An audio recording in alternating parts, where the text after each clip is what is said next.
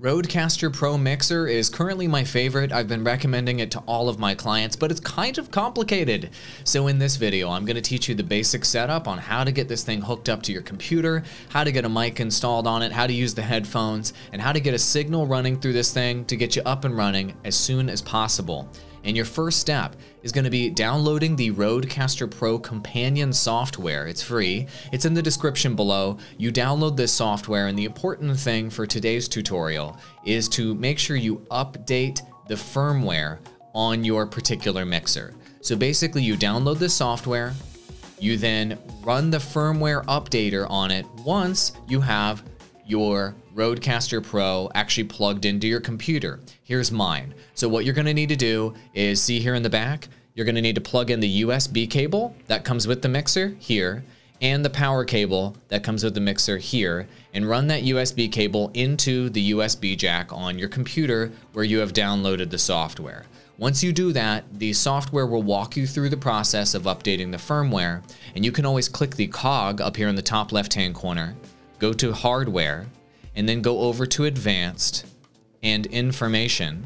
And this will let you know that you have the latest firmware version or not. 2.0.3 is the latest. They're currently doing beta of 2.1, so you'll know you have the latest version there.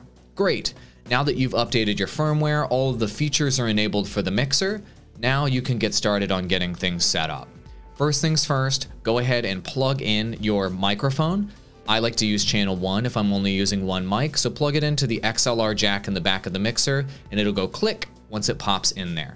What you'll also want to do is plug in a pair of headphones. If you're only doing one pair of headphones, I recommend using the headphone jack here on the front of the mixer. It is a little mini jack on the front of the mixer. It's way more conveniently positioned than the ones that are in the back of the mixer back here. There are four headphone jacks in the back of the mixer you can plug into as well. The volume for your headphones is controlled here, here, here, and here. If you've only plugged in one pair of headphones, say the headphone jack in the front of the mixer here, then that will be headphone port number one. Turn that up to Unity up to 12 o'clock when you get started. If you'd like to plug in speakers into this mixer, there are plugs right here above the record button in the back. They're quarter inch jacks that you can run out to speakers of any description. I've got mine plugged in, and the volume for the speaker out is controlled right here on this volume knob. Okay, now that you have your mic plugged in, let's go over the basic setup for your mic and the basic settings that you're gonna wanna do. Generally speaking, you're going to want to drop all of the volume knobs down for everything when you're getting started other than the thing you're trying to record with. So I'm going to go ahead and drop this one down just for fun right now get all of the channels down except for channel 1, which is the channel we're going to be working on today. In channel 1, what you're going to do is bring this channel up to Unity, this little line right here. You're going to make sure that this is not muted, okay? And when that button is not muted, that means that the audio levels should be coming through right here, which will confirm that when you talk into your microphone, you're actually getting a signal in the mixer. You'll also see that going through the master here, left and right, to let you know that it's impacting the final output of the actual mixer.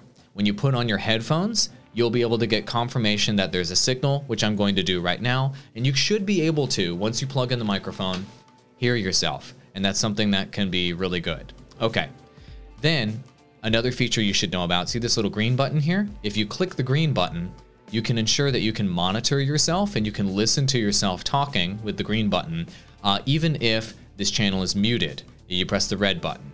That's another way to make sure that you're actually monitoring yourself or monitoring any of the channels is by hitting the green button with the ear on it is monitoring. The red button with the speaker on it is actually muting it so that it doesn't go through the output on the mixer. Great. Now that you've plugged in your microphone, I'm going to take my headphones off here. Now that you've plugged in your microphone, go ahead and hold down the number one button here.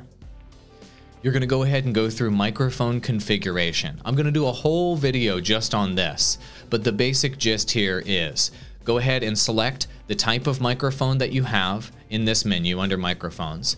Select your different preferences in terms of your voice and the strength here. They also have a lot of filters that you can use or not in the mixer. I'm going to do a whole video just on this. I recommend enabling all of them when you first get started. And the most important thing here to recognize is when you're talking, make sure your volume level is right here in between these green lines. And if it's not, turn the volume, the levels down or up here to get it within the green lines, which is kind of the optimal zone for your microphone. Okay. I'm gonna do a whole video just on microphone setup separately because it's they have a lot of advanced features in the mixer. If you want this mixer to be able to plug into your computer, you have to go through a separate set of uh, processes to do that. But you're basically going to select the Rodecaster Pro mixer as your input in your computer through your sound control panel. And so the way that you do that is, and I'm going to go ahead and pull up my sound control panel right now. What you're going to do is go to that little speaker icon. Let's cut over to my screen. You're going to go to that little speaker icon in the bottom right hand corner of your computer if you're on Windows, and you go ahead and pull open the sound menu. If you don't know how to get to the sound menu, search for sound in Windows and you can find it. Once you do that, you can choose to output all of your sound on your computer to your Rodecaster Pro if you want, and make sure that your input, most importantly, is the Rodecaster Pro. Okay? Once you're done with that, go ahead and click Sound Control Panel to get into the advanced settings on the mixer. There's a couple, this menu right here will pop up when you do that. There's a couple critical settings I want you to know about that are going to make your life a lot easier. Go ahead and go down in the playback tab. If you want your audio to play through the mixer, right click and make sure that uh, this particular mixer is your default device. You see how mine is checked as default device? Make sure it's your default device. Then under recording, what you're going to want to do is go down to the Rodecaster Pro, right click, and make sure that it is also your default device there. Here's a critical setting that you guys need to know about. Right click, go to Properties, then within this menu go to Levels, and I recommend doing 80 for your microphone volume level. It'll start here at zero, move it up to 80. This is a good middle of the road volume level for this mixer that works for almost all of my clients and everybody uh, that uses this mixer. Start there okay, it'll automatically default you to 48,000 hertz studio quality audio, and you won't be able to change that while you're using it. Don't worry about that at this time. 80 on your master volume level. That is the basic setup this, of this mixer. That's how you can get an input into your computer.